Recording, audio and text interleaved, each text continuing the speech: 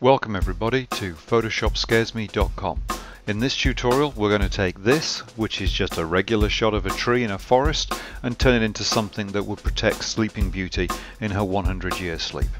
Now, when I took this picture, I really liked the fact that the tree was reaching out towards me, that there were lots of branches, and it just felt dark and scary and wintry, but it was a beautiful spring day. Sun was shining, the grass was green, the birds were singing, the dog was annoying me, and so what I did was I took five shots rather than the regular one, bracketing it didn't need it, there wasn't that much contrast in the scene, but I bracketed it because I knew that when I processed it afterwards, I was going to need that kind of blend. Now I'm going to process this in in Photomatix.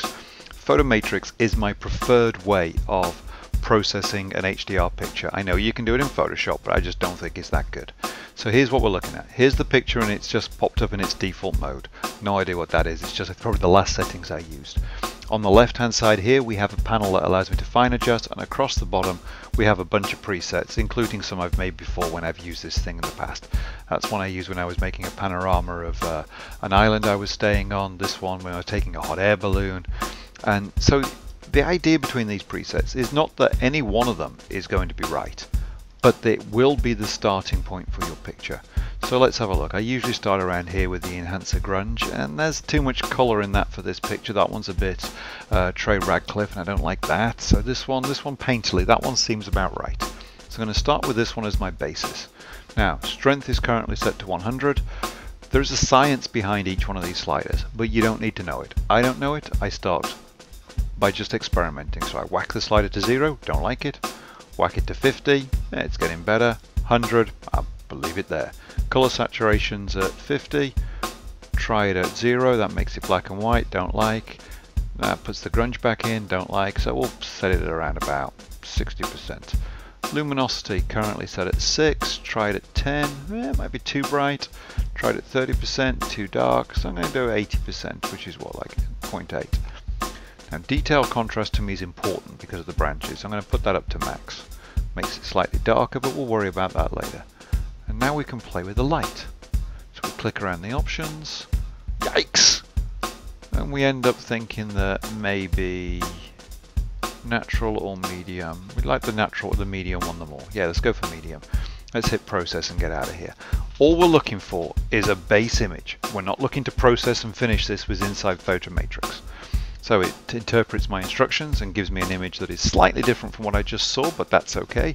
I hit Shift Command S to save it. Make sure this little button here is checked. And when I hit save, it brings it up in Photoshop. Command W, get rid of that one in the background. Here's the image I just made. It's an improvement over the original negative, but it's not what I want. I want it to be scary. So the first thing I do is I hit Command J. As you can see over in the layers palette, what that does is it duplicates it. I do that because if I accidentally destroy pixels, I want the original image.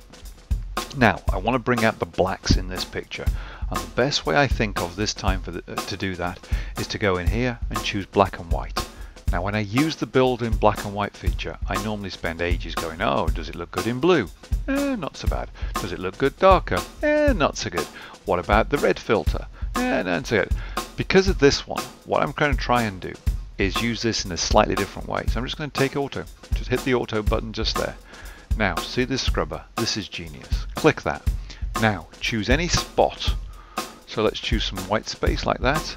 And if I move it to the left, the white space gets darker. If I move to the right, it gets lighter. And you can see the slider over there on the left and on the right hand side moving back and forth as I wobble. So I just click everywhere in the picture. Branches, I need those to be darker. Branches, I need that one there to be darker. The sky is still just popping a fraction too much, so I'll move that a little bit more to the right. That looks okay. Now, this isn't a black and white picture. I don't want that, so I'm going to change the layer mode and I'm going to multiply my color picture by all those black and white values. And that gives me that. Not bad, these branches here are kind of scary and creepy, but it's too much. So let's lower, lower the opacity a little bit.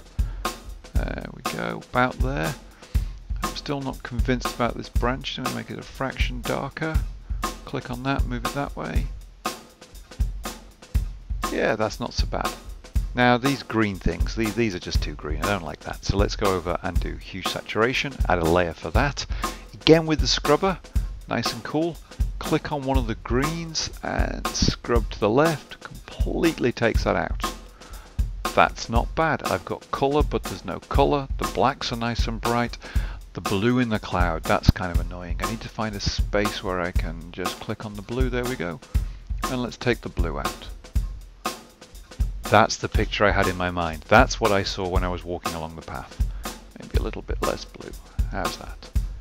Now, this was an HDR picture, which means it's by just definition it's not sharp. So I need to do something about that. I'm going to hold down the Shift key, the Option key, the Command key, and I'm going to hit E. That command is known as stamp and I've not yet found it on a menu. What it's done is it's created me a brand new layer over here that you can see, which is an aggregation of all the other layers. And I'm going to take this new layer and I'm going to simply sharpen it. I'm going to use the unsharp mask. It's going to come up and I'm going to wobble the slider around. Let's try 100%. Eh, it doesn't seem to make a difference. 143% doesn't make a difference. Probably going to have to go for about 100%, 180%. Yeah, that's kind of what I want. Now, it sharpened it, but you can see here the fine detail of the trees, it's over sharpened it. So what I'm going to do is I'm going to edit that unsharp layer by clicking edit, fade unsharp mask. What I'm going to try and do now is change the blend mode. So rather than sharpen every pixel on the screen, I'm just going to sharpen the, the, luminosity, the brightness layer. So it's not going to sharpen the pixels of color, it's not going to sharpen the detail, just the brightness. And when I hit OK, all that detail comes back and it's no longer over sharpened. I think I'll go hang that in the Smithsonian. Thank you for listening.